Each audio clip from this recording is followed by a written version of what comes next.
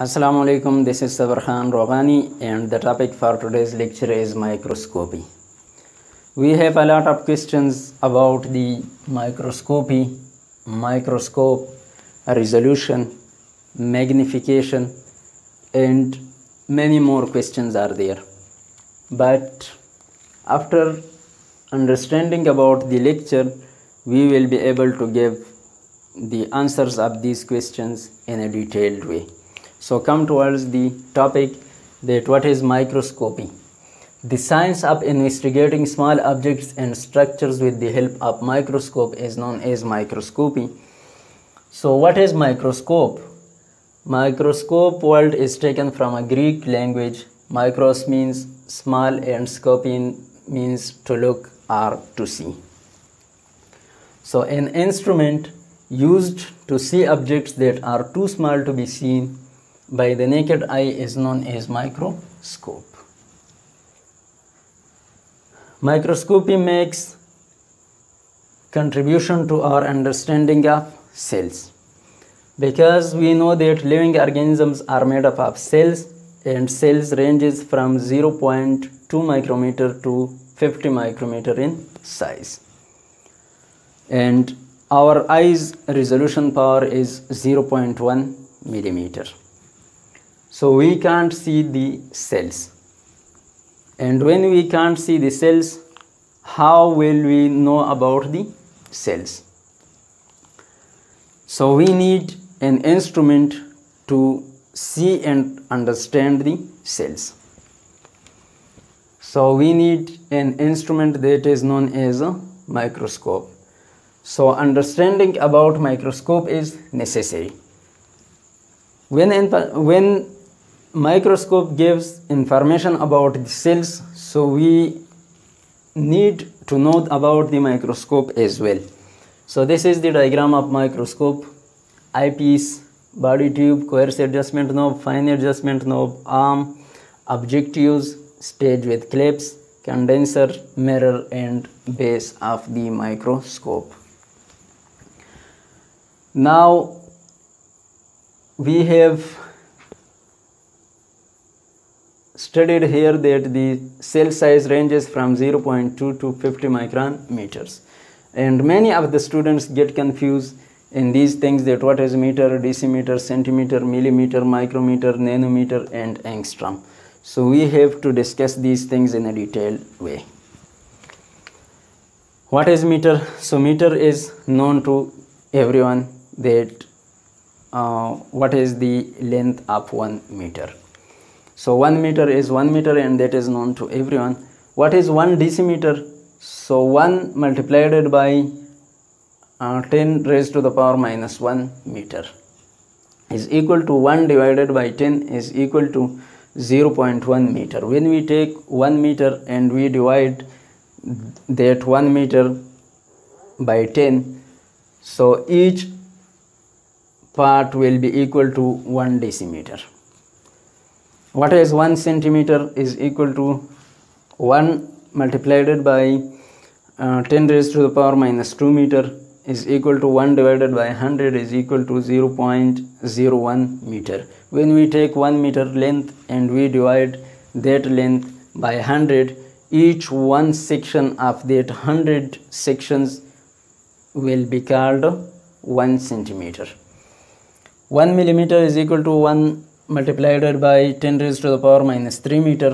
So 1 will be divided by 1000 the answer will be 0.001 meter. 1000 of a meter is known as 1 millimeter. 1 micrometer is equal to 1 into 10 raised to the power minus 6 meter. That will be equal to 1 divided by this and the answer will be this. 1 nanometer is less than this and 1 angstrom is less than the above. So when we come from the uh, top to the bottom the value become decreases.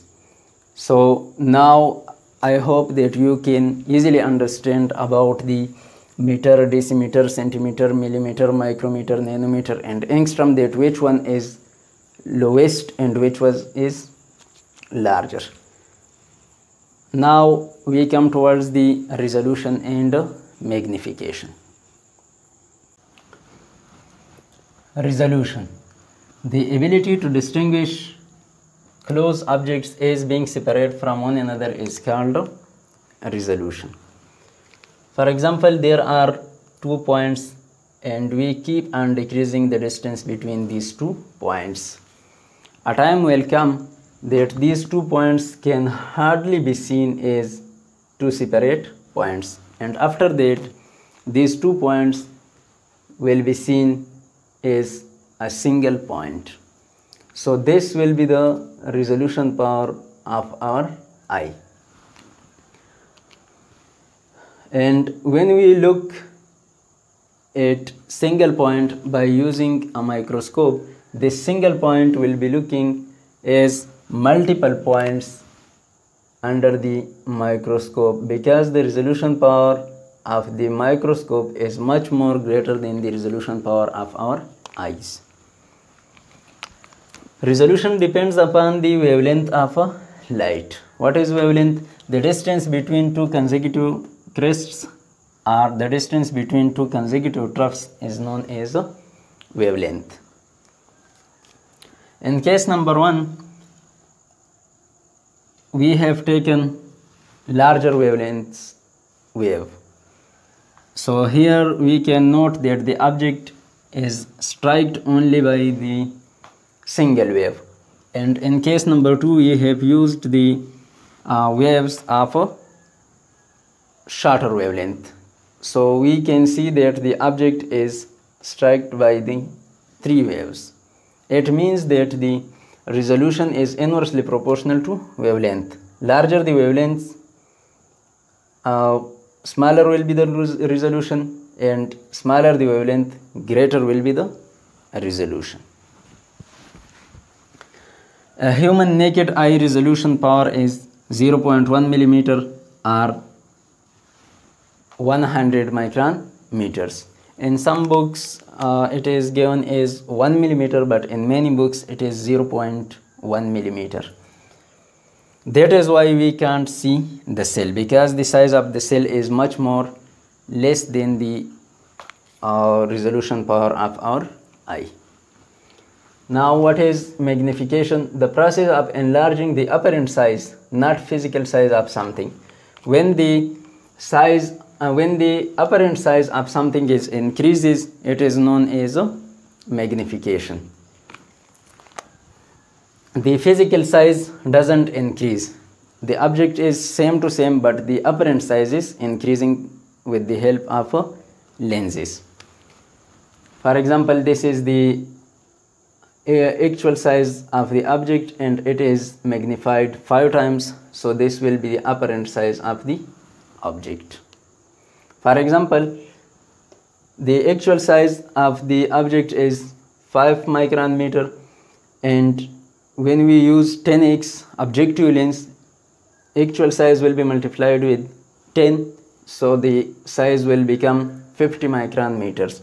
And that magnified lens is further magnified by the ocular lens if it is 10x or uh, any other so 50 multiplied by 10 this will become equal to 500 micron meters. So the actual size is magnified up to the 500 micron meters. Uh, if we want to calculate the magnification that how much this actual size is magnified so the actual size was 5 micron meter and it is magnified up to the 500 micron meters. So 5 will be cancelled out with 5 so uh, 5 1 are 5 and 5 ones are 5 so this will become 100x it means that the object was magnified up to the 100x 100 times. If the objective lens was uh, 10x and the ocular lens was 10x then the magnification is 100x formula for calculating the actual size is image size divided by magnification. The image size was 500 micron meter and the actual uh, the magnification is 100x so actual size is equal to 100 micron meters now we will be discussing about the different types of uh, microscopes. This is the simple microscope. This is the light compound microscope. And this is the electron microscope. So the simple microscope was made by Van Leeuwenhoek in 17th century. And this is known as the first microscope actually this was not the first microscope. The first microscope was made by another scientist but that was not much better microscope. And the Van Leeuwenhoek's microscope was much better.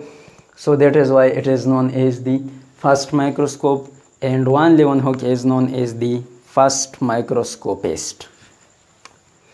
It is called the simple microscope because it has the single lens which is the objective lens. So that is why it is known as a simple microscope. It is also called magnifying glass because this is just a single glass that magnifies the object of interest. This is the rough diagram of the simple microscope. Uh, object of interest is uh, present here and there the objective lens is present and there is the viewer's eye. The viewer's eye is there, there is the ob uh, objective lens and object is present here. So the viewer can look at the object of interest okay this is the light compound microscope it is called the compound microscope because of having more than one lens which is ocular lens and objective lens so it is called compound microscope and it is called light compound microscope because of using the sunlight or bulb. The sunlight is ordinary sunlight and the bulb is present here on the base of the uh, on the base of the microscope. The modern light compound microscope have the magnification powers 10,000 times. And their resolution power is 0.2 micron meter or 200 nanometer. And the light which is used its wavelength is uh, 400 to 700 nanometer and this is the diagram of the light compound microscope. Now we come towards the electron microscope. In electron microscope only dead and dried specimen is studied.